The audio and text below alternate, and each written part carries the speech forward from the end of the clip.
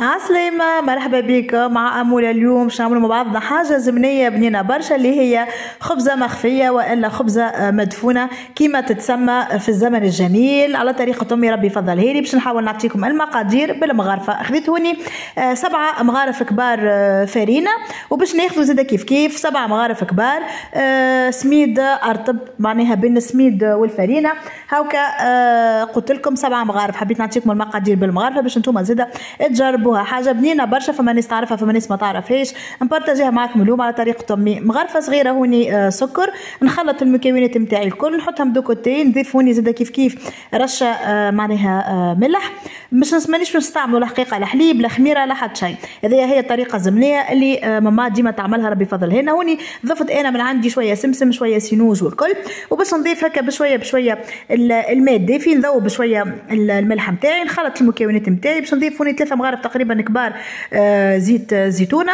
وكل مرة نضيف الماء الدافي ونعجن العجينة نتاعي مهم برشا العجينة نعجنوها باش تعطينا هكا آه، معناها تكون طرية والكل.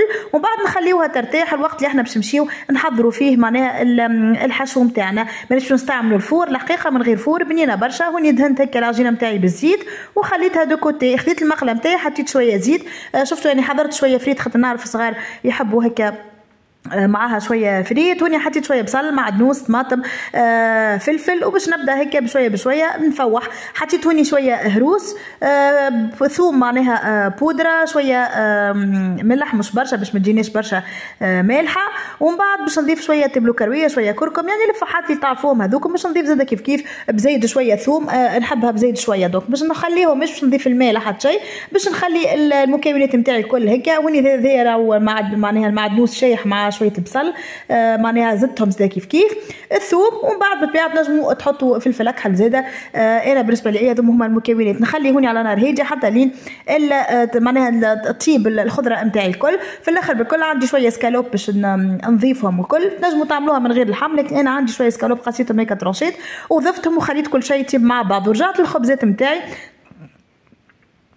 سامحوني دهنت الوجق نتاعي بشوية زيت ويدي زاده كيف كيف ونحل هكا بالقلقال كل كعبتين نحلهم نضيف هكا بالشكل كيما قلت لكم يعني في الآخر بالكل أنا حطيت شوية إسكالوب يعني آه مقصوص هكا جويد وطيبتهم هكا سينو تنجموا تستعملوا من غير آه من غير اللحم لأنه قبل جو كخوا آه معناها بالشحم تجي أكثر حاجة هكا آه وإلا بالقديد حاصل نسيت. أمي بارتاجتها معكم آه الحقيقة على طريقتها هي قبل ومره هذه حبيت أنا نعملها. حطيت هوني شوية فرماج آه هوني آه رابي من فوق الطرق ثم حاجة اختيارية. زيد اش قلت لكم راهي معناها آه طرق تختلف الحقيقة وبيني أنا حتى بيني أنا وأمي دونك حبيت نضيف هكا آه حاجات. دونك هوني نقيس هكا بالطبيعه على قيس الصحن نتاعي باش تجيني مستوية. من بعد نحطوا على الطاجين ونقعدوا نطيبوا الخبيزات نتاعنا في قلع قلم. هوني مازالت سخونة لكن حبيت نقص ونوريكم.